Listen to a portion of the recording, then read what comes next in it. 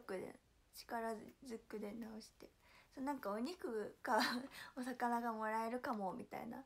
でもちょっとよくわかんないんだよ。どっちとか選べるんですか？こんな見てこの毛流れ。意味がわからな。い何があってこうなるの？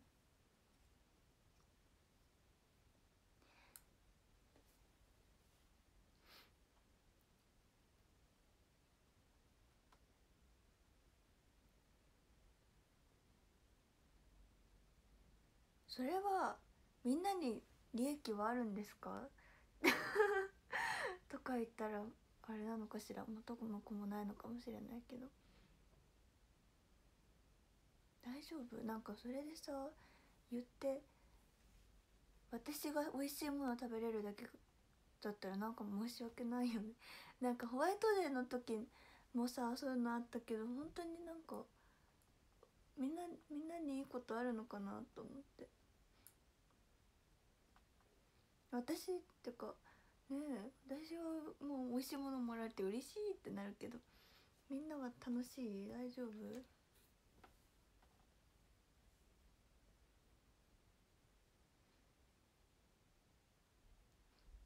それでいいんだって。優しいねみんな。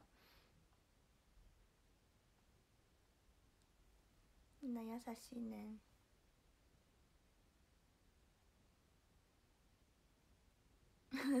利益ある？とか。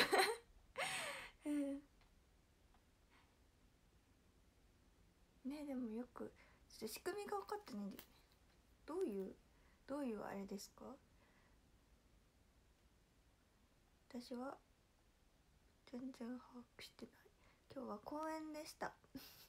すごいこれをぶら下げてるからすっごくおバカみたい。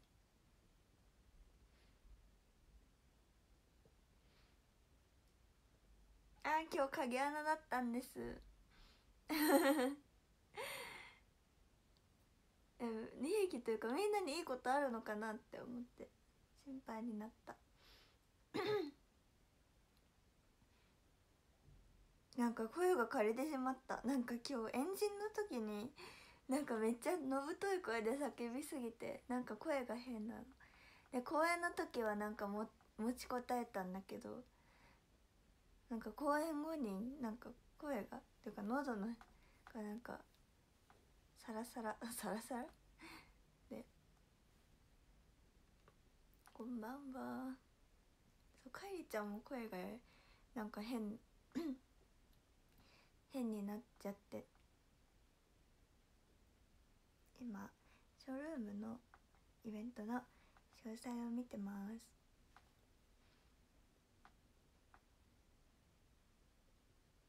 アバターアバターなくなっちゃった。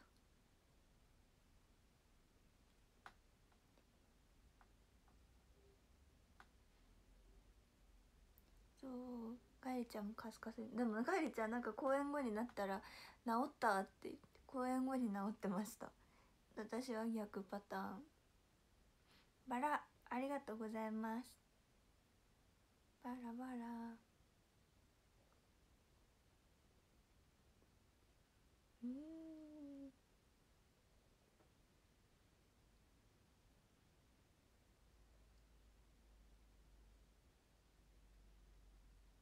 私はお肉かかえうん海鮮どっちを食べたいかを選ぶだけなんですね。あなんかすごいこれ下がってくる。え大丈夫そう？大丈夫ですか？だるまありがとうございます。うんどっちも好きですね。どっちも好き。あ戻ってきた。喋ってたら。どっちも好き。小判ありがとうございます。そうお肉派多そうだよね。えのもうんお肉が好きです。うん。えー、迷うけどお肉かな？お肉かお魚だったら。えー、でも迷うな。どうしよう。でもお魚も食べたいな。私優柔不断の神だからさ。あほらまた触覚が。あでもちょっとなんか戻ってきた。そんなことなかった。山かな。あーもうダメだ。今なんでこんなことしてるかっていうと触覚が浮いてしまって。こうしてるんです。うん。うん。迷いますな。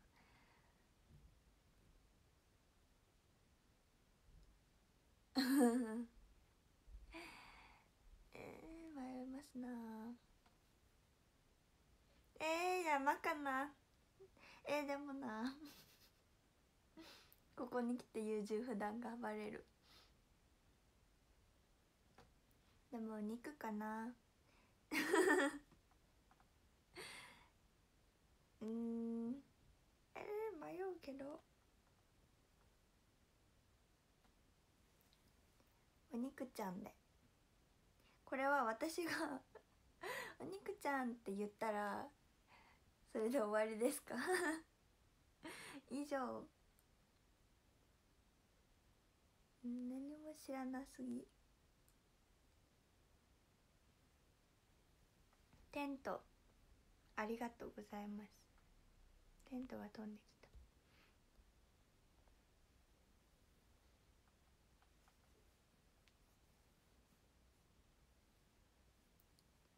た。わテントが。すごくありがとう。ああこういうこういう仕組みなの？あ待ってなんか申し訳ないよ。いいよ。なんかいいよ。あなんかごめんなさい。いいよ。だってこれ私が美味しいもの食べれるやったってだけだよね。いいよ本当に。私何も返せない。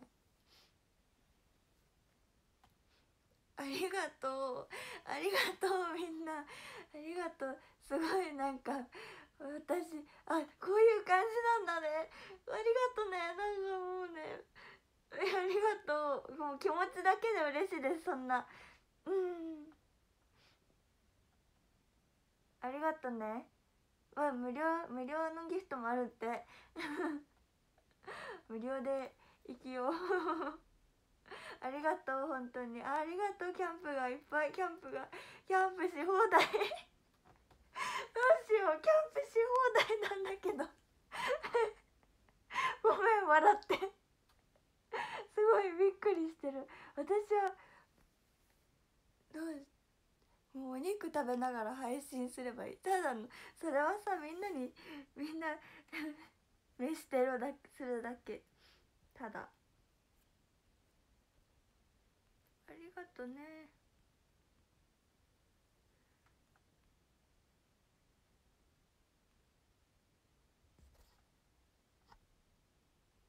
ありがとうみんな。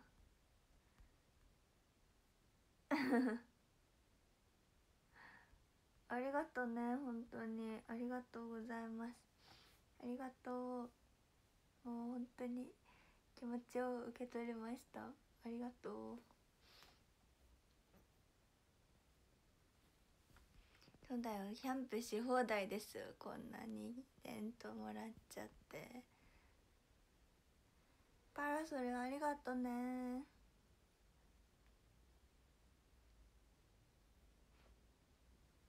どうしたらいい？私は。どうしたらいい？ありがとう。お肉に感謝するね。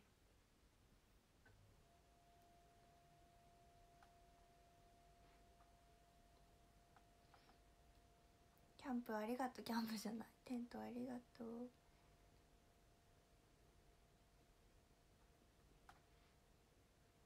うん。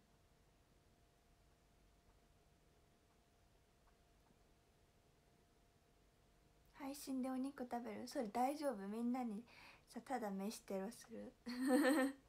ただの飯テロになっちゃう。ね。今日は公演してきました。もう髪型を変えてしまったんだけどその後用事があって髪の毛ちょっと公演のままだとあまりにもキュートすぎて 髪の毛ほどいちゃったんですけどハートありがとうございます。クラッカーありがとうございますございます。ございます。クラッカーテントありがとうございます。ありがとね。今日はドラムメモ公演でした。そう定型文もドラムメモにしておきました。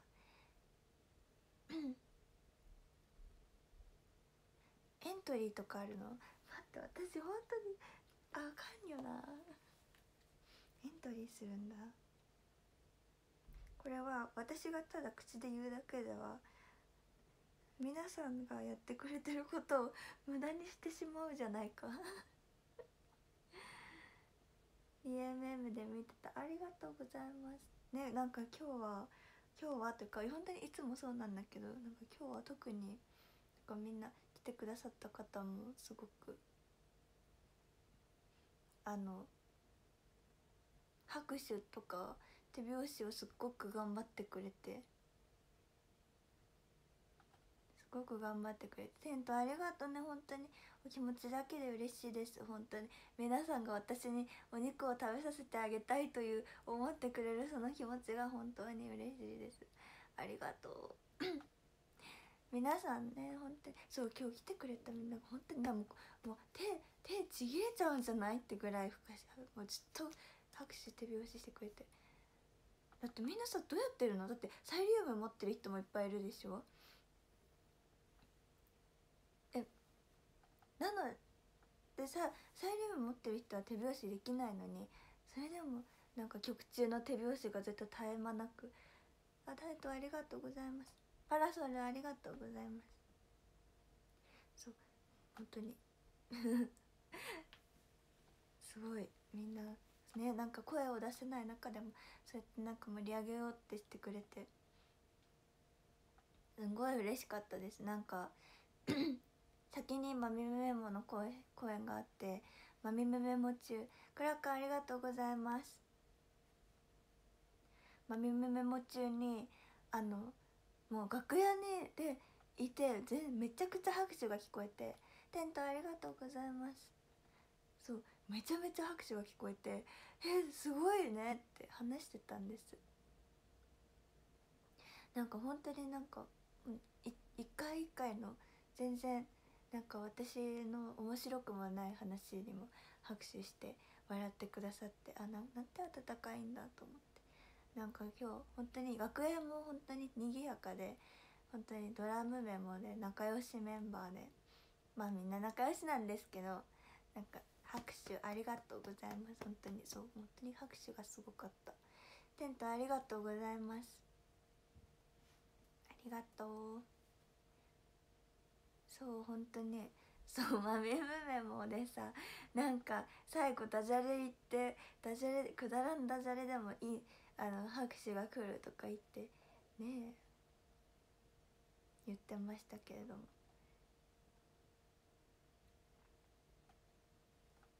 拍手ありがとうございます。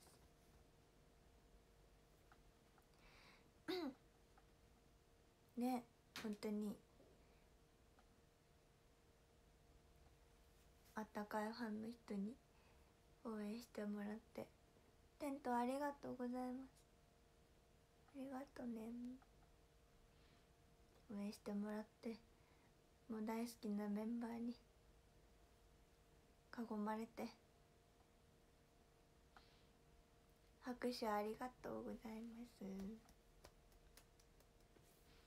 ね本当にありがたいでございますね。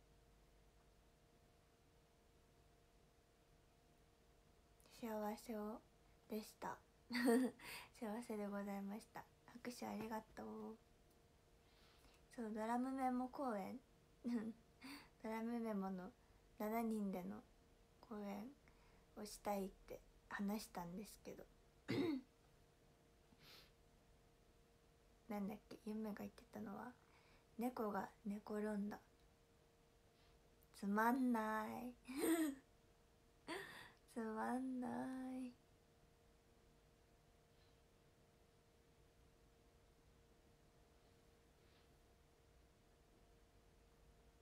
ね。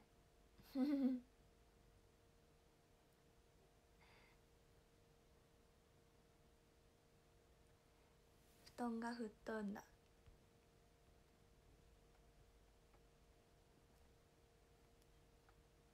本当に一日中笑っておりました。楽屋でもずっとなんか今日朝からみんなテンション高くて今朝朝から本当にずっと 拍手ありがとう。ずっとなんか爆笑しながらまず爆笑しながら劇場に来て 劇場来てからもずっと笑ってて。うん。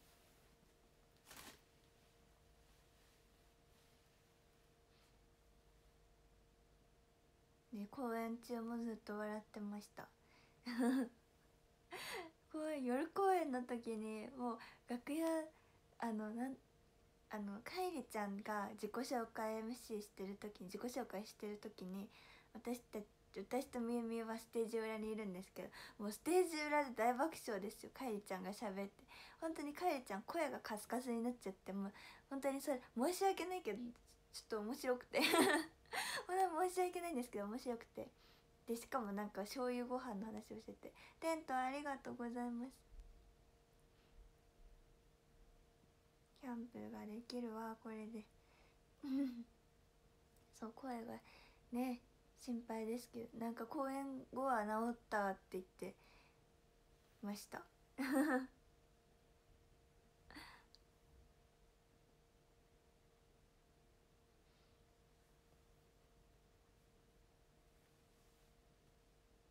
ね無事に終わってよかったですけれど喉ね大事にしなくては。でも意味が分からなかった。もうフライパンに醤油がどうのこうのそう。でも途中からもうなんか笑いすぎて話が入ってこなくて。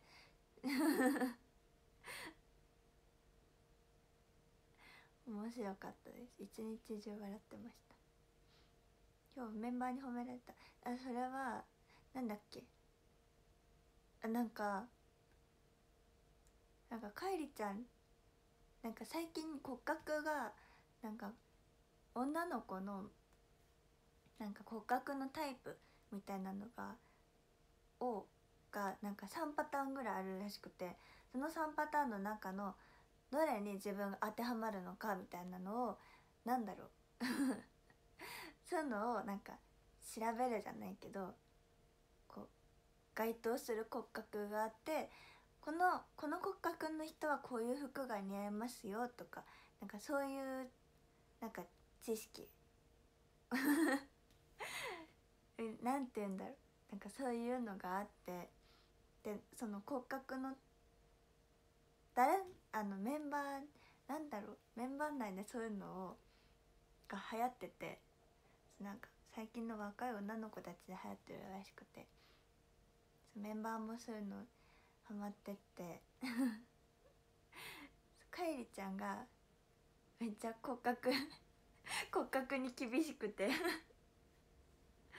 なんかメンバーの骨格とかもなんか当てはめてなんかこの子はなんか例えば首が長くてなんか肩幅が狭めでとか の人はこういう骨格タイプだよとかなんか足がなんか腰位置がなんか高くてが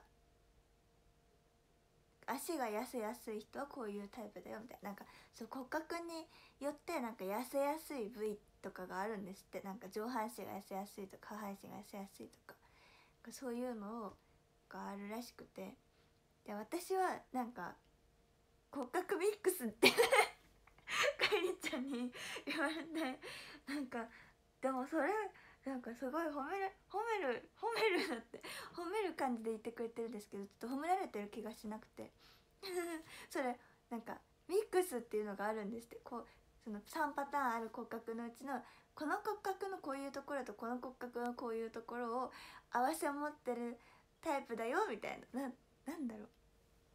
そうミックスだよって。ゆな子は骨格なんとかとなんとかのミックスだよって教えてくれて。そうでそれででもでそれあんまり褒めてないよねっていうふうに言ったらなんかそうそれ言ったらなんかいやでもゆな子の体型が一番いいよ。本当に一番好きだよって言ってくれて。そうでもそれにね乗っかってなんか他のメンバーもすごいなんか褒めてくれました。骨格をなんか体型。についてすごく褒められました。きっとメンバーになってなかったら人生で体格を褒められることなんてなかった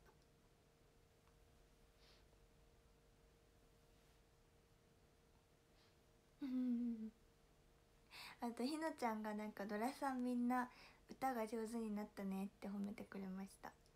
ひなちゃん上手な人本当にさもうなんかもう素晴らしく上手な人にさ褒められちゃうともうなんか嬉しいよね。なんかファンのファンの皆さんもなんかみんなも本当になんか褒めてくれて本当にうれ本当に嬉しいけどなんか違う違う感じで嬉しさがあるよね。なんかなんか本当に心から思ってくれてるんだろうなって思思う。ひのちゃんが言ってくれると。テントちゃんありがとうございます。テントありがとうねたくさんありがとう。ねひのちゃんはもう毎公演うまくなってて本当にただでさえ上手なのに。どんどん上手になるから。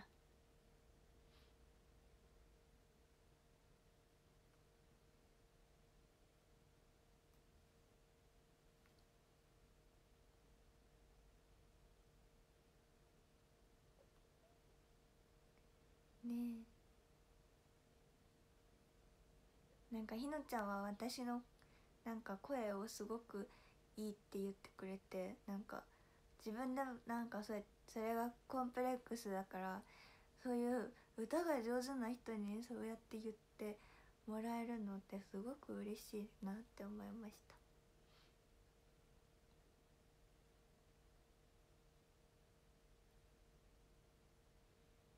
テントちゃんありがとう。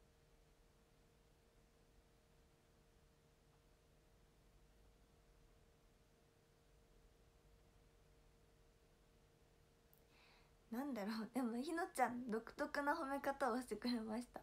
なんだっけ。ひなこの歌声はキャラソンっぽいよねって。キャラソンって多分アニメとかの ちょっと多分マニアックなんですけどひのちゃんが。アニメとかのキャラクターののキャラクターソングみたいな。独特な褒め方。でもすごくなんか声を可愛いよってすごく褒めてくれました。多分アニメっぽいみたいな意味なんだろうなと思って私は聞きましたうんうん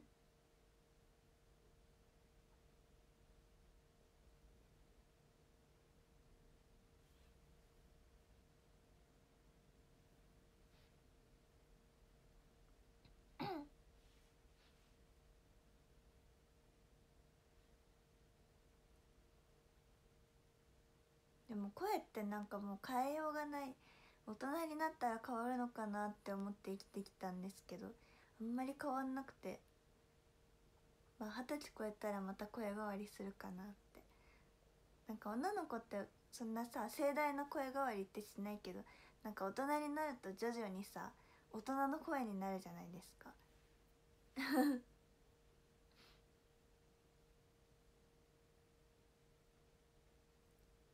私もそのうちそうなるかもしれない。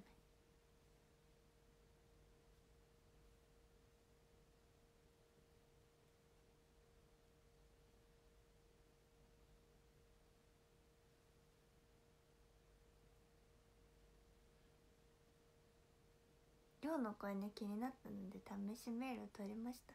嬉しいし公園で気になるって言ってもらえるの本当に嬉しいです。なんかそんな。嬉しい。だってみんなそれぞれさ推しメンがいて来てくれてるのにさその中でなんか気になるって思思える存在になれた？ことがすごく嬉しい。テントありがとうございます。テントありがとうございます。みんなありがとうね。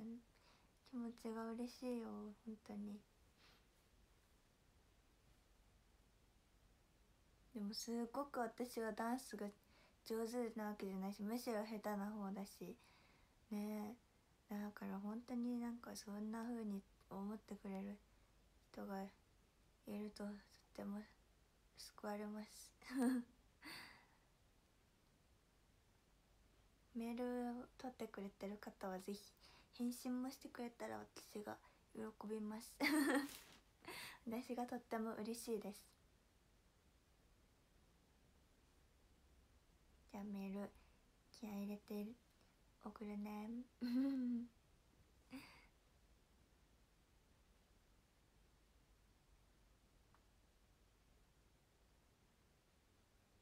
そう今日の公演は、まあ、ドラムメモでなんかみんなの なんかみんなのあのお互いの似顔絵を描くみたいな。ね。これで黒板を描いたんですけど。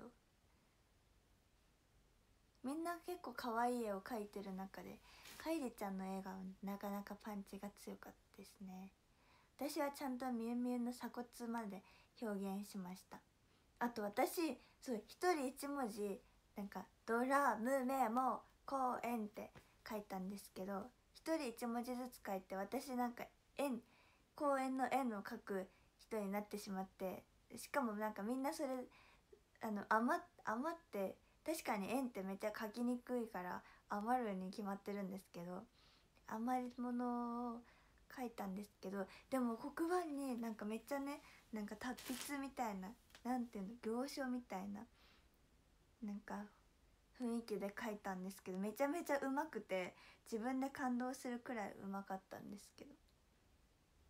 うん。公園の園です。なんなんで調べなんか多分ハッシュタグなんかマミムメモ公園とか「ハッシュタグドラさん大好きみんな押してね公園」とかで調べてくれたらなんかきっとあの黒板の写真をあの 写真をねあの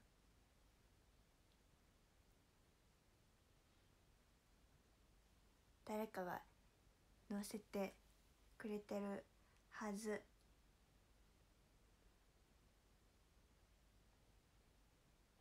はず。載せてくれてます。公園の縁がとっても上手。あゆめのツイートにあるって。じゃあそれを見てください。あ本当だ。えうまくない？うまくない？ちょっと才能を感じました。自分これから黒板アーティストいけるかも。そうやってさすぐ調子乗っちゃうんだけどさ。あ触覚戻ってきた。今なんでずっとここにピンをつけてたかっていうと本当にあでもちょっとなんか歪んでるんですけど。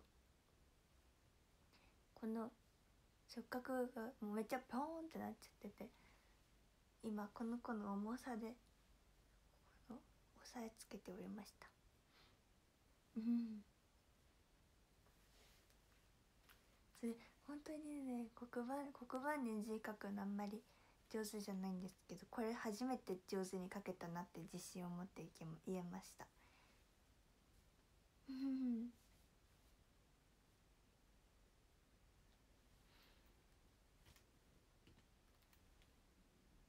あ待って今ツイッターで見たらそう思い出した。日向さんの写真集の 表紙が全部全カット全パターン公開されたじゃないですか今日今朝。もう今日朝一でそれ見て一日迷ってます。どうしようなんか写真集をどれを予約するかずっと迷ってて日向さんの。で写真表紙が限定で違うからじゃあその限定表紙がの写真が公開されてから選ぼうって思って自分の好きな写真の表紙を買おうって思ったら逆にあの逆に迷ってしまって でも分かる。通常版めっちゃ好きで。あタイトルもね公開されてそうえ秋元さんの帯のコメントもすごく素敵で。なんかあなんか全人類の気持ちをあクラッカーありがとうございます。クラッカー。クラッカークラッカーお祝いおめでとうありがとう。そう本当に全人類の気持ちを代弁してくださるかのような本当に帯で帯のコメントで。どうするみんな？みんなは決めました？私は決めかねている。でも私は HMV さんの表紙もすごく好きでなんかすごいおしゃれ。なんかさこのなんか最近の写真集ってこのなんかおしゃおしゃれさ結構重視だなって思ってるんで本当になんかそのトレンドをちゃんとね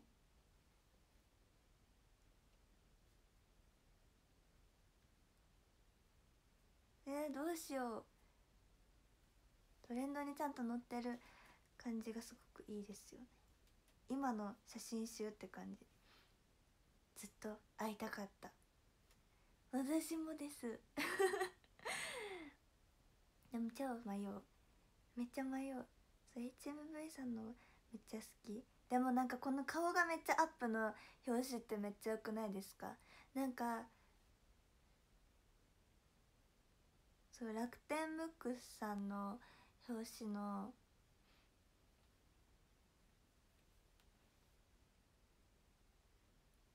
そう顔のめっちゃアップねでちょっとアンニュイな感じの表情のもめっちゃよくって。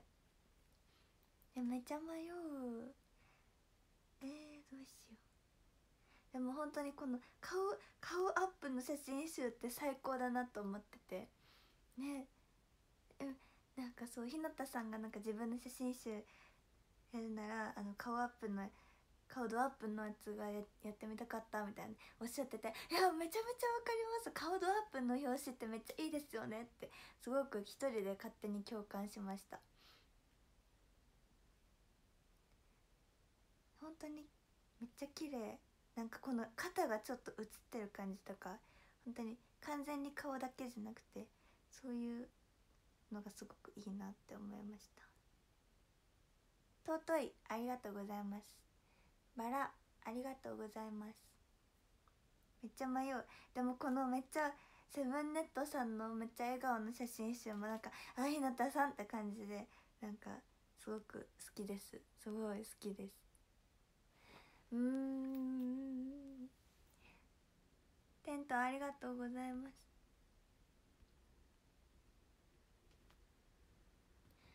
迷うね。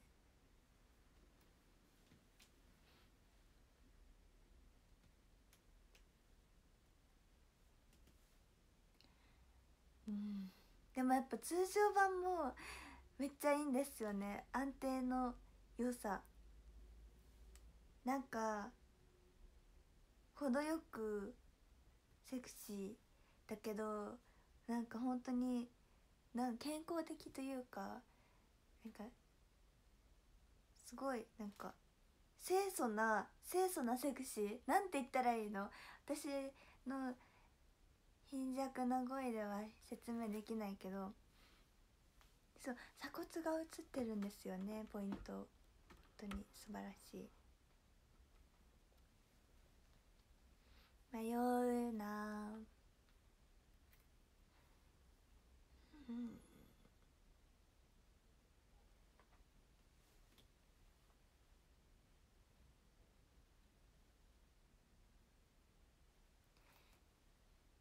ゃ迷う。どうしたらいいんだろう。みんなどれにしました？皆さん。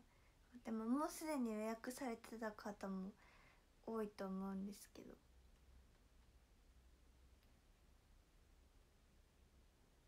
うん。そう通常版めっちゃいいですよね。通常版も好きです。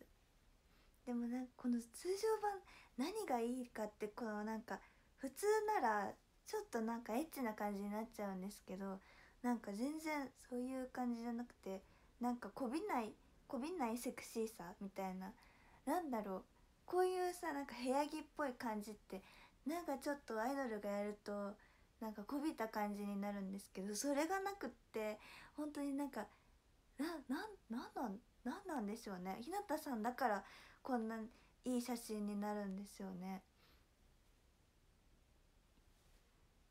うん。すごく好きです。でもそう分かる。なんか今買うんだったらそう限定版かなって思っちゃう。だって HMV さん好きだな。なんかおしゃれですよね。すっごい。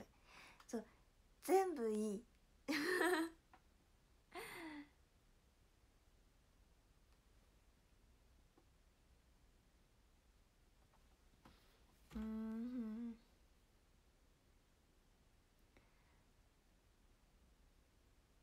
えでも私の今の有力今今予約するなら今一番有力なのは HMV さんかな。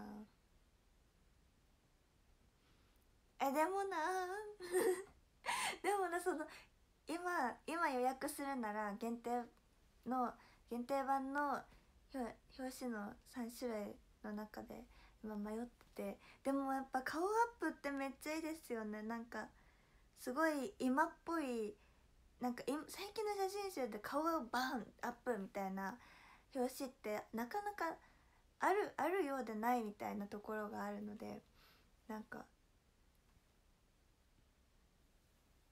そこがなんかちょっと懐かしい写真集のちょっとちょっと前の写真集とかの懐かしさも感じさせるのが本当にプロですよね。素晴らしいですね。早く欲しいです。なんか髪の質感とかもめちゃめちゃ触って確かめたい。楽しみ。本当に迷う。私が本気で迷ってるの分かります？分かるでしょ？えでもこの日向さんの写真集が2200円ですよ。実質ただ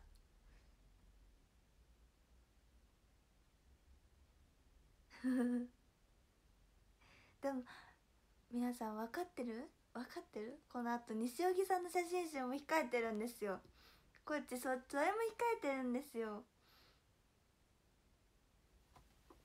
うん。って考えるとお三方の、まあ、同じような感じでもしもお二人も お二人も同じようになんか写真表紙をもしも4パターン出されるってなった時の 時ですよ。全日向さんをもしも全パターン買ってしまったら私はもう今後そうやって生きていくことになるんです。お分かりですか？いや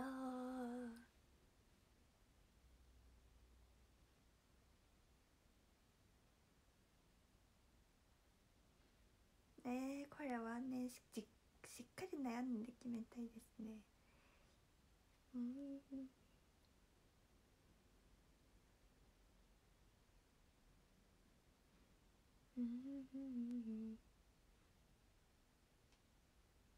あクラッカーありがとうございます。祝ってくれてる私の。私の写真集を。決めかねている。